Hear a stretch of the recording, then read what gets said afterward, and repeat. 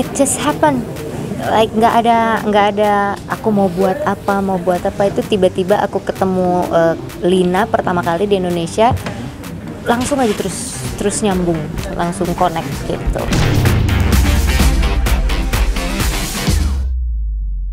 First time always nervous, bingung, like masih cari bahasanya, so masih sedikit canggung.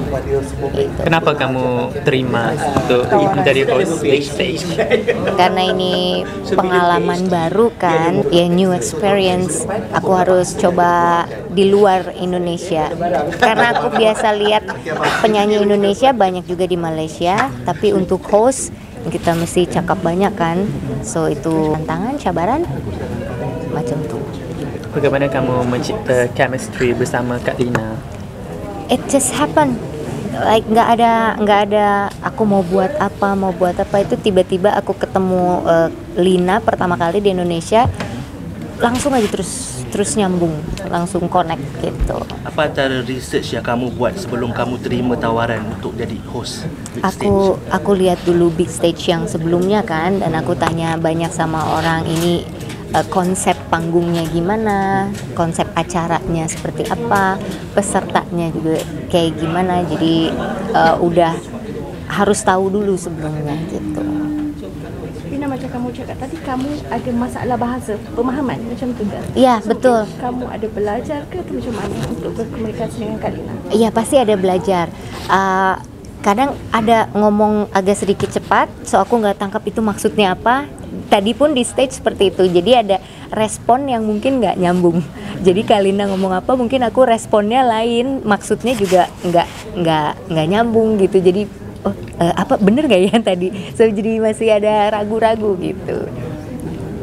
Pernah uh, dapatkan komen atau pendapat dari Bunda Heti tak? Memandangkan dia pun pernah jadi host di sini kan? Mhm, Pernah dapatkan komen dari dari dia tak? Iya, karena waktu itu yang eh, kasih tahu aku untuk eh, apa ada acara sama Kalina di Indonesia. Waktu itu Kalina datang ke Indonesia itu untuk acara eh, hari raya kan. Itu pun juga yang hubungi Bunda Eti waktu itu. Jadi Bunda Eti, Rin, ini di Malaysia katanya ada ada acara untuk program apa buat buat program Malaysia. Boleh tuh katanya gitu. Jadi ya udah aku ambil juga di situ. So pengen pengen tahu biar ada pengalaman baru gitu. Bagaimana kamu lihat respon daripada audience hari ini dengan teletah kamu? Oke, kalau respon di studio kayaknya seru. Seru. Oke. Tapi respon di Twitter seperti biasa ada ada pro kontra, ada yang suka, ada yang enggak, ada bagus, ada jelek. That's normal. So it's it's not a big deal gitu. Kamu mengharapkan mungkin selepas ini lebih banyak job di Malaysia? Ya harapan yang bagus-bagus selalu ada. Tapi ya itu dia saya saya juga nggak terlalu harus dapat ini uh, like am- am- ambisi gitu nggak nggak terlalu gitu. Ya jalan aja. Saya punya potensi apa saya bisanya di mana tempatnya cocok atau enggak kalau enak kalau nyaman kita comfortable then just do it. But if not then don't do it.